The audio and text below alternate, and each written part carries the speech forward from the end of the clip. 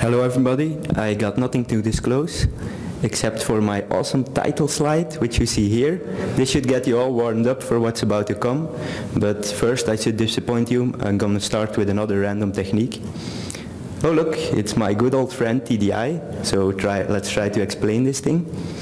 There's a diffusion weighted data set, or rather a colored FA map. And then, as Donald already said, we can do CSD. It looks like this. And if I interpolate the background, you can appreciate the quality of the FODs a bit more. And then we do tractography, pretty nice. Now comes the TDI trick. We just overlay a grid again, like this. And then we count the number of tracks in each voxel, and then map it again. Now we get this. Um, we can also color it according to the local direction of the tracks, and you get a color map again. At this point, I should uh, confess that this was a special tractography. What you just saw was a short tracks tractography. What's the difference with normal tracks? Well, the minimum track length is actually the same, so it's, it's just as hard for a normal as a short track to get into the distribution. The maximum track length, however, is different. In a regular tractogram, there is none, or a very large one. Uh, in a short tracks, it's quite limited. Um, and to compensate for that, because we get shorter tracks, we generate lots more. What is the effect of this? Well, basically, the TDI map, the short tracks one, is going to look much more homogeneous. Why can this be helpful? Well, for instance, if you look at directional information, then you can appreciate that because of the reduced dynamic contrast of the short tracks tractogram, we are focusing more on the directionality of the information. And because what I'm about to tell is all about directionality, we'll basically use these parameters. So from now on, we'll always be working with a short tracks tractogram. Okay, let me introduce you to my other friend, the plan, because it's getting quite confusing. We started with some DWI data. We showed the DEC FA map. We showed the FODs on top of them. Uh, I told you that we can use those for targeted or just in general tractography, which meant that we could generate a large short tracks tractogram because our aim was to come up with the TDI or the DEC TDI map. That's all fine, and you can see some, well, repeating structure in there. That's because now my true friend is going to appear.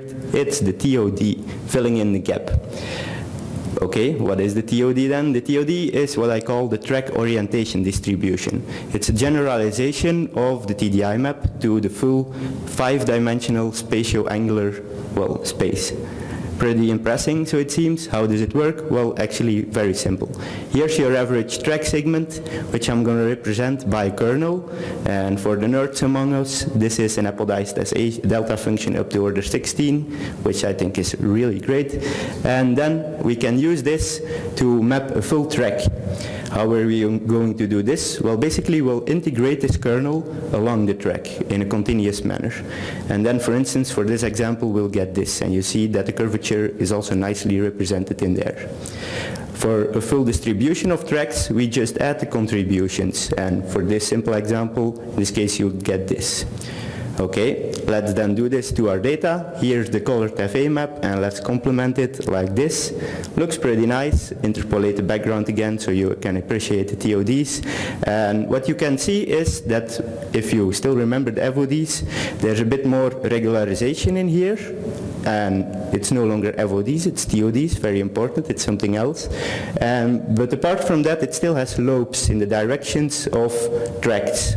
So well, that got me thinking, and then I thought, and here comes the real surprise, why not, not use these TODs again for tractography?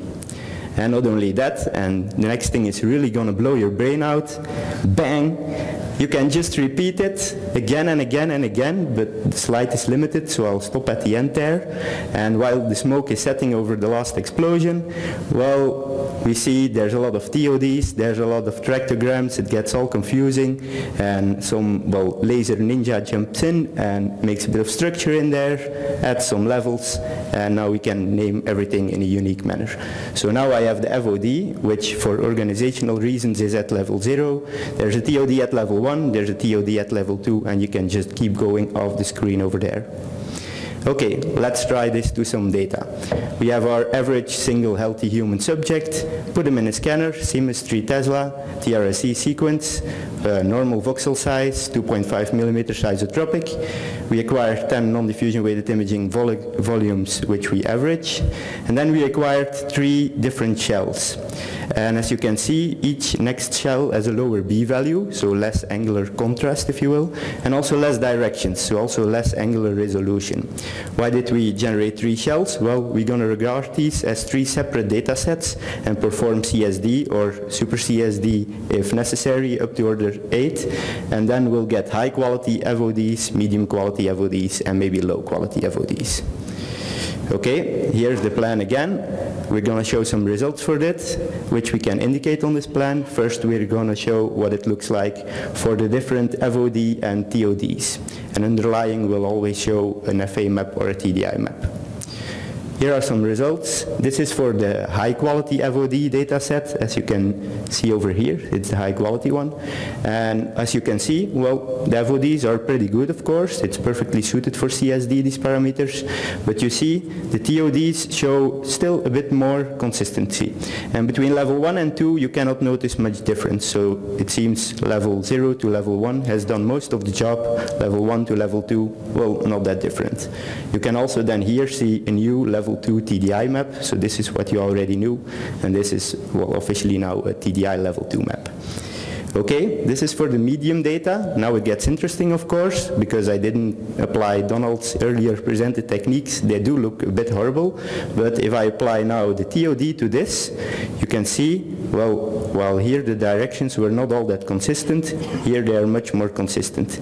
And even in a true, truly complex system like the brain, you can also still see some improvement from level 1 to level 2. Like for instance here, the peaks were still pretty small, here they are much larger. And we are able to recover this crossing in only a medium quality data set. Now it gets really, really, really interesting because this is the bad, bad, bad quality, truly scrambled up. So long story short, in the end, we still recover the crossing. You cannot clearly see it here, but there's also a third direction running perpendicular to this one. Okay, finally, we show the tracking results. Uh, targeted tractography, we're going to show a single experiment here, seeded from the corpus callosum over there, 10,000 targeted tracks. We're going to do probabilistic tractography with FOD or TOD as a full distribution. And just as a bonus, I added the deterministic tractography also based on the FOD and the TOD as you saw them before. These are the results for the high quality data set. So here's probabilistic, here's deterministic. I'd always advise to use this one because this one looks plain ugly. But then again, you can see that from level 0 to level 1 to level 2, we get nice improvements, even for the high quality data set. You see, here are some false positives. They will slowly disappear a bit, not all of them, but some of them do. Then for the worst quality, well, it just helps more you can see that in the end we get a nice result, while here we got a pretty scrambled up result. Then for the well, worst quality data, you see that in the end we still are missing some structure which we had before, so it cannot recover everything. But then again, comparing this one to this one, I'd rather prefer this one.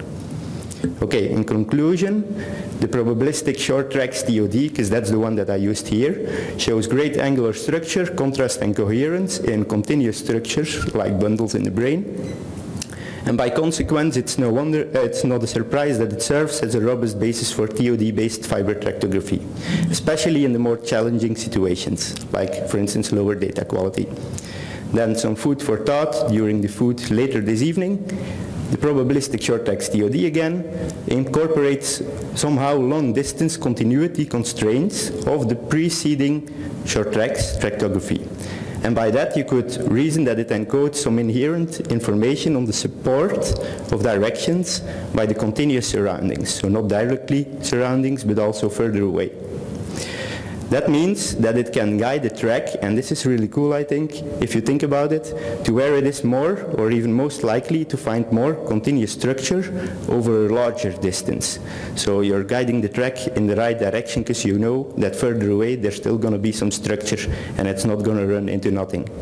Or, long story short, you could also say the short tracks did the field work, the final tracks profit. I thank you for your attention, and if you have any questions, I'd be happy to answer them. Thanks a lot.